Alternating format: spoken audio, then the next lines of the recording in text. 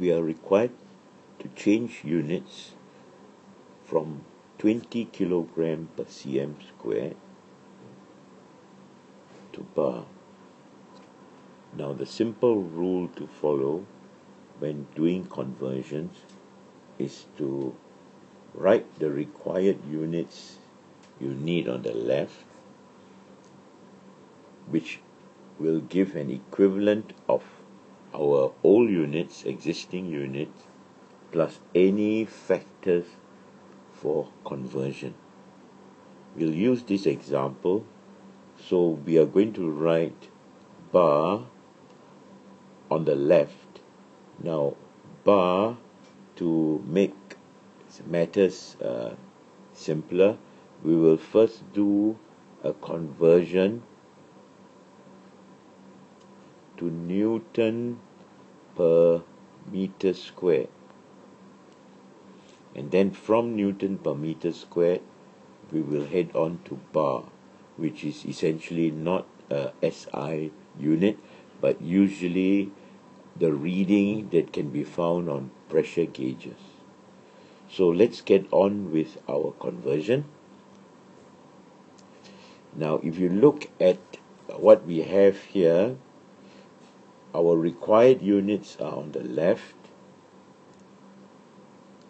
The units we are given with are on the right. So what we need to make both sides compatible are if I multiply kilograms with G, I will get newtons, which corresponds to the newton on the top of the Newton per meter squared. I now need to convert the cm squared in the denominator to the meter squared in the denominator required. Now, we write the meter squared which we require and the cm squared on the top to get the same correspondence the cm squared has to be multiplied by 100 squared. Our final conversion factor then amounts to the units that we have, in this case kilograms per meter square, must be multiplied by G and 10 to the power of 4. So let's look at our question. 20 kilograms per cm squared. We are required to multiply it by G, 10 to the power of 4. We get Newton per meter squared. So to highlight this, this will be our conversion factor. for all conversions from kilogram per cm squared to Newton per meter squared.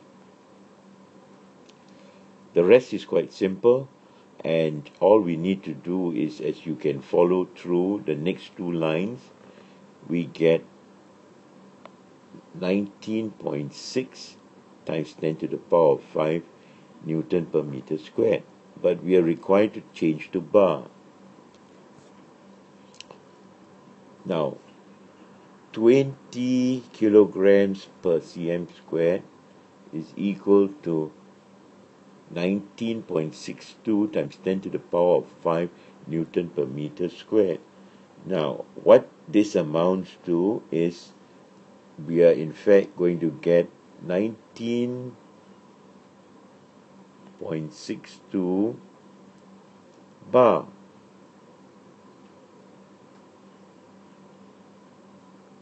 Remember the conversion 1 times 10 to the power of 5 Newton per meter squared is equal to 1 bar. Now, as an approximation, what we will usually say is 20 kilograms per cm squared